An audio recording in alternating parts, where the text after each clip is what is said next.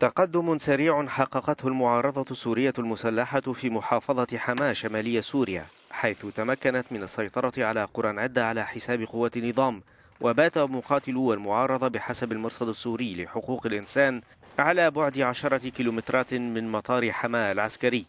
ونفذت طائرة حربية تابعة للنظام غارات جوية على المناطق التي سيطرت عليها المعارضة متسببة في مقتل 25 شخصا على الأقل. على الصعيد الدبلوماسي قال المبعوث الأممي إلى سوريا ستيفان دي مستورا هناك مؤشرات لاحظتموها حتما تمهد لمبادرة سياسية خلال الأسبوع تسبق انعقاد اجتماع الجمعية العامة وهذا هو الوقت المناسب لهذه المبادرة لأن الموعد الحقيقي المقبل سيكون في الحادي والعشرين من سبتمبر من أجل اجتماع على مستوى عالي بشأن سوريا. أما على الصعيد الإنساني فقد ذكر عاملون في منظمات إنسانية أن سكان الوعر ومضايا والمعظمية والفوع وكفرية أطلقوا نداءات استغاثة لفك الحصار المفروض على بلداتهم فيما لم تصل مساعدات بما يكفي داريا.